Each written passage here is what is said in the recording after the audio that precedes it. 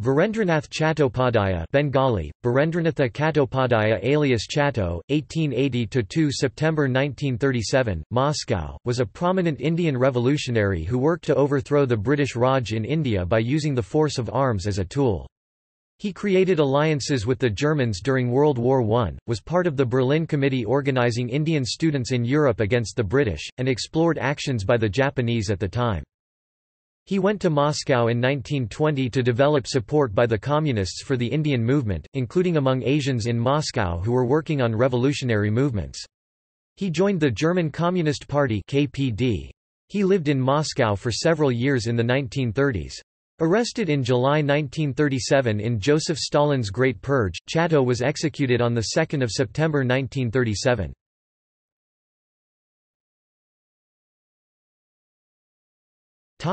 Early life His childhood nickname was Binny or Biran. Virendranath was the eldest son the second of eight children of Dr. Aghorenath Chattopadhyaya Chatterjee, a scientist philosopher and educationist who was an ex-principal and professor of science at the Nizam College, and his wife Bharata Sundari Devi, a poet and singer in a Bengali family settled in Hyderabad.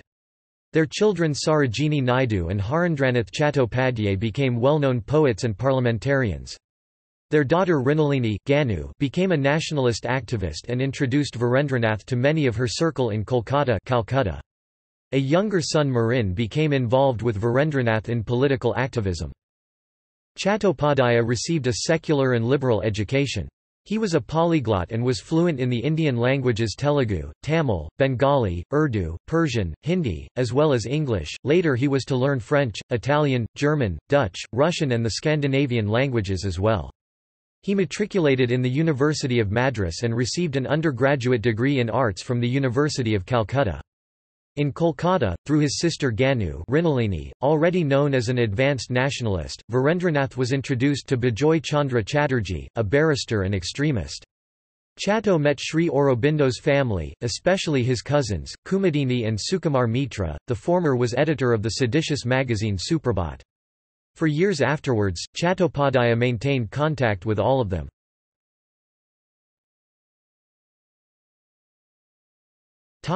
In England In 1902, Chattopadhyaya joined the University of Oxford, while preparing for the Indian Civil Service. Later, he became a law student of the Middle Temple.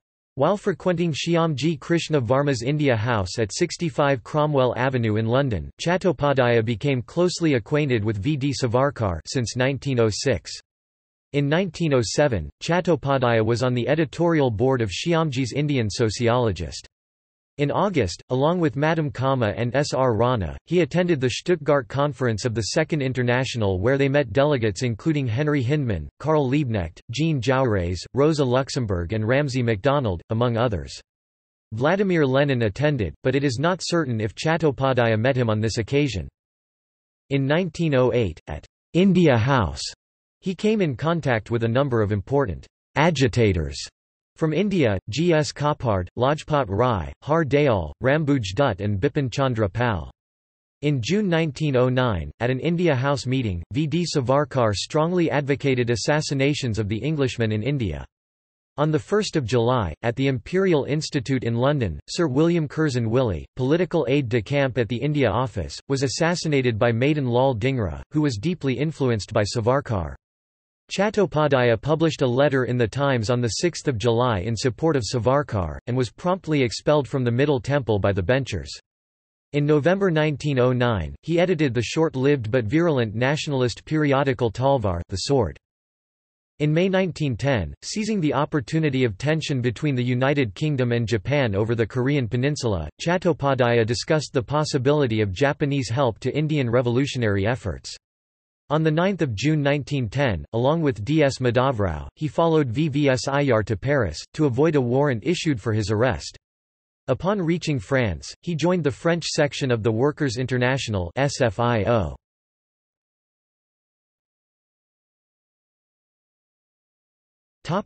In Paris Iyar returned to India and settled in Pondicherry where he published the Dharma newspaper and a number of political pamphlets in Tamil, while maintaining a regular contact with Madame Bhikaiji Cama in Paris. Chatto and some other revolutionaries stayed with her at 25 Rue de Ponthieu and helped her to edit the Bande Mataram. Its April 1911 issue was one of the most violent that ever appeared, praising outrages in Nasik and Kolkata. It said, with gentlemen we can be gentlemen, but not with rogues and scoundrels. Our friends the Bengalis have also begun to understand. Blessed be their efforts. Long be their arms. In connection with the Tirunelveli conspiracy case in February 1912, Madame Bhikaiji Cama published an article showing that these political assassinations were in accord with the teachings of the Bhagavad Gita.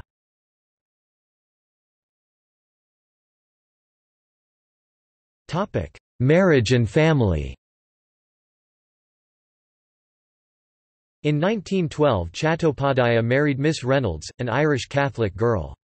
Because he was pagan who rejected all effort to convert him, she bought a special dispensation from the Pope to marry him. After the ceremony she informed him that a condition of the marriage was that any issue was to be Catholic. They quarreled and parted, she becoming a nun in some hidden English convent and he trying for years to have the marriage annulled. Chattopadhyaya went to Berlin in April 1914 to further revolutionary activities. There he entered a union with Agnes Smedley, it was not a legal marriage, but she bore his name and was known as his wife. It was to last eight years. That he loved her is no doubt. Neither she nor others understood why, for he had little interest in women. He also sent fellow revolutionary Heramba Lal Gupta to Japan via the USA.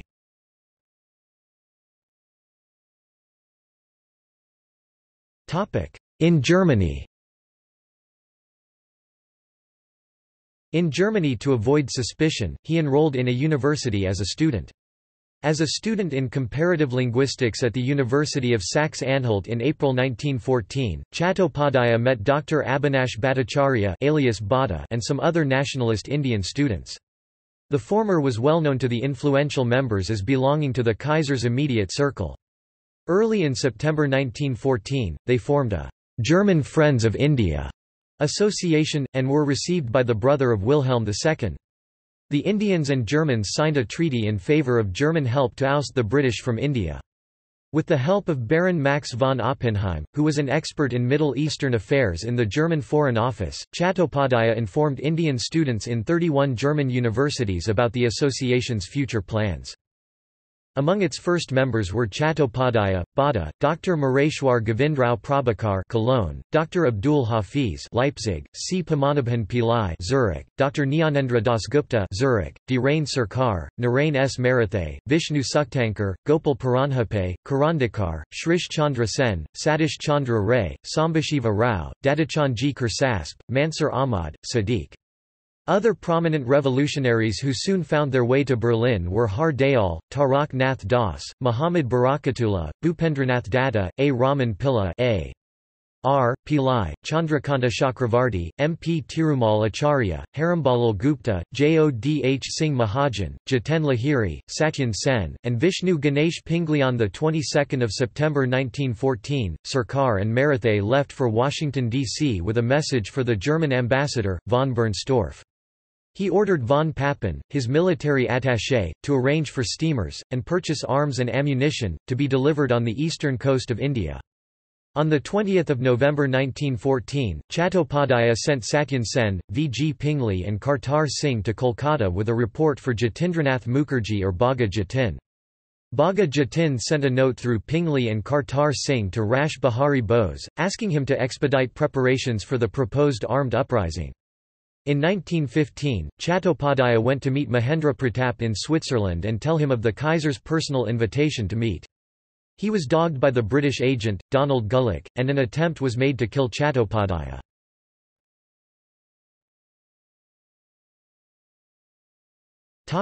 Revolutionary vagabond With the failure of the Indo-German Zimmermann Plan, in 1917 Chattopadhyaya shifted the Berlin Committee to Stockholm. In 1918, he contacted the Russian leaders Troianovsky and Angelika Balabanova, the first general secretary of the Communist International. In December, he dissolved the Berlin Committee. In May 1919, he arranged for a secret meeting of Indian revolutionaries in Berlin. In November 1920, in his search of financial and political support exclusively for the revolutionary nationalist movement in India, Chattopadhyaya was encouraged by M. N. Roy with Mikhail Borodin's approval. He went to Moscow with Agnes Smedley and they became companions, sharing their lives until 1928. Under her influence, Chattopadhyaya coveted the influential position M. N. Roy enjoyed in Moscow. The next year, he was received by Lenin, along with Bhupendra Nath Datta and Pandurang Khankhoje. From May to September, he attended the Indian Committee of the Third Congress of Communist International in Moscow. In December 1921 in Berlin, Chattopadhyaya founded an Indian News and Information Bureau with his correspondent Rash Bihari Bose in Japan. According to Sibnarayan Ray, Roy and Chattopadhyaya were rivals for Agnes. Roy would have liked to work with him since he admired the latter's intelligence and energy. By early 1926 Chatto had got into good terms with Roy. At Roy's instance, Willy Munzenberg took Chatto under his wings in organizing an international conference in Europe to inaugurate the League Against Imperialism. On the eve of Roy's mission to China, in January 1927, Chatto wrote to Roy asking, if there is anything further you wish me to do."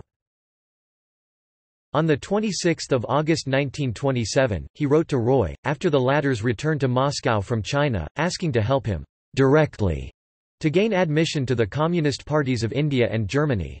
After being advised by Roy, Chatto joined the Communist Party of Germany (KPD) in 1927. While working as the head of the Indian languages section of the KPD, Chatto accompanied Jawaharlal Nehru to the Brussels Conference of the League Against Imperialism. Chattopadhyaya served as its general secretary. His younger brother Haran went to Berlin that year to meet him and Agnes. On learning of Jawaharlal Nehru's becoming president of the Indian National Congress, Chattopadhyaya asked him, in vain, to split the party for a more revolutionary program of full independence from British imperialism. From 1930 to 1932, Chattopadhyaya published 28 articles in Inprecor, the Comintern organ, about an ultra-leftist sectarian turn of the Communist Party of India. Between 1931 and 1933, while living in Moscow, Chattopadhyaya continued to advocate anti-Hitler activities, Asian emancipation from Western powers, the independence of India, and Japanese intervention into the Chinese Revolution. Among his Korean, Japanese and Chinese friends was Zhou Enlai, the future Prime Minister of the People's Republic of China after its successful revolution. Agnes saw him for the last time in 1933 and remembered later, he embodied the tragedy of a whole race. Had he been born in England or America, I thought, his ability would have placed him among the great leaders of his age. He was at last growing old, his body thin and frail, his hair rapidly turning white. The desire to return to India obsessed him, but the British would trust him only if he were dust on a funeral pyre.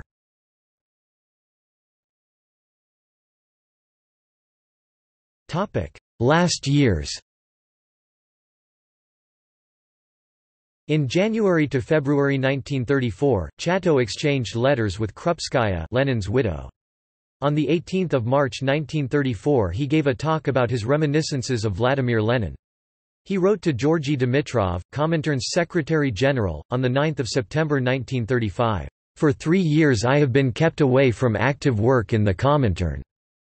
Clemens Palme Dutt the brother of Rajani Palme Dutt, mentioned having seen Chatto for the last time in 1936–37 at the Department of Ethnography of the Academy of Science in Leningrad. Chattopadhyaya was arrested on 15 July 1937 during the Great Purge of Stalin.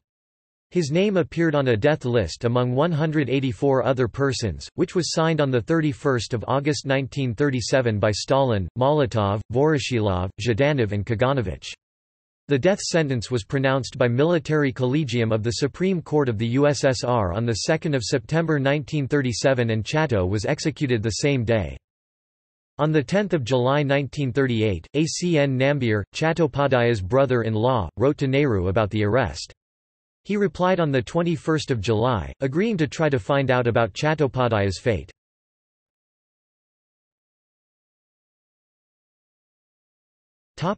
Evaluation James Campbell Kerr's Political Trouble in India, 1907–1917 discusses Chattopadhyaya. He described some of the less appealing aspects of his character and actions. He was deeply admired by colleagues such as M. N. Roy and Dr. Abhinash Bhattacharya for his able leadership, sharp intelligence and sincere emotion. In his autobiography decades later, Jawaharlal Nehru wrote of Chatto, an entirely different type of person was Virendranath Chattopadhyay, member of a famous family in India. Popularly known as Chatto he was a very able and a very delightful person. He was always hard up, his clothes were very much the worse for wear and often he found it difficult to raise the wherewithal for a meal. But his humor and light-heartedness never left him. He had been some years senior to me during my educational days in England. He was at Oxford when I was at Harrow. Since those days he had not returned to India and sometimes a fit of homesickness came to him when he longed to be back. All his home ties had long been severed and it is quite certain that if he came to India he would feel unhappy and out of joint. But in spite of the passage of time the home pull remains. No exile can escape the malady of his tribe, that consumption of the soul, as Mazzini called it. Of the few I met, the only persons who impressed me intellectually were Virendranath Chattopadhyay and M.N. Roy, Chatto was not, I believe, a regular communist, but he was communistically inclined. Chattopadhyay's family line survives today in Kolkata.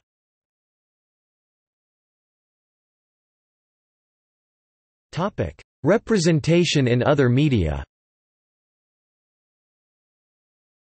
Chatto was well known in Great Britain and India as a revolutionary.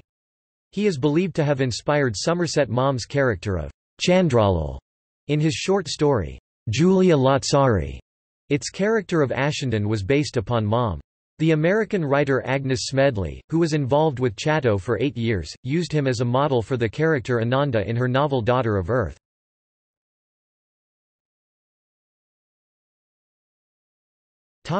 See also